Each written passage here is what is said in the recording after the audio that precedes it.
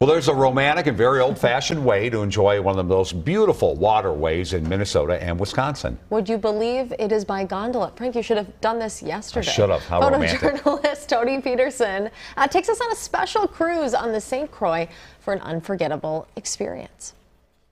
This is our 22nd year. Que sera, sera. I'm excited to be on a, a real river and a real gondola. Come in, then I'll come over, bring this boat over here. It's, it's something unique to Stillwater, right? Uh, everybody else is on pontoons, enjoying the river. So this is an authentic gondola from Venice, Italy, rowed in the traditional way.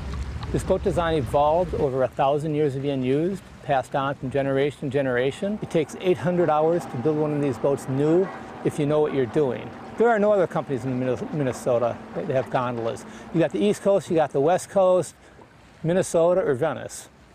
A lot of times they'll wave or they'll start singing, they'll say, Oh Sole Mio, but they won't know the rest of the song. When the sun hits the skies, like a big pizza pie. That's amore. And I don't know if it's true or not, but rumor has it if you kiss under the Stillwater Bridge, it's true love forever. Venice was built by flat bottom boats coming in and out. And so the first reference to a gondola shows up in the late 1400s in writings. People think the striped shirt and the straw hat is a traditional gondolier's costume. It's not.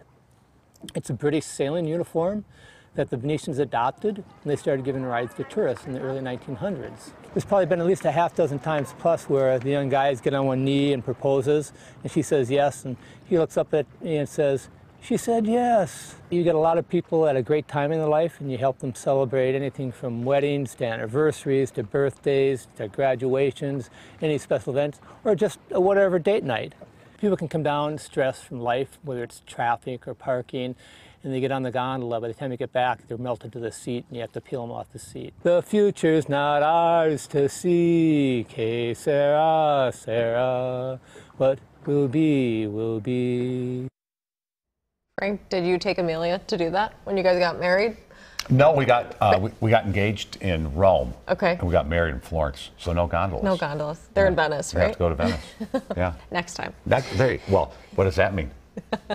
I don't know, a vow renewal or something. Oh, Come up with you. something, Frank. Okay. The gondolas uh, launch out of downtown Stillwater. They start at $100 per couple, and you can bring your own food and drinks, make a nice little picnic. You yeah, can do it here. You don't have to go to Venice. Frank. Correct. Thank you. They still have time to do it. They're going to run through October, so that's great. Enjoy.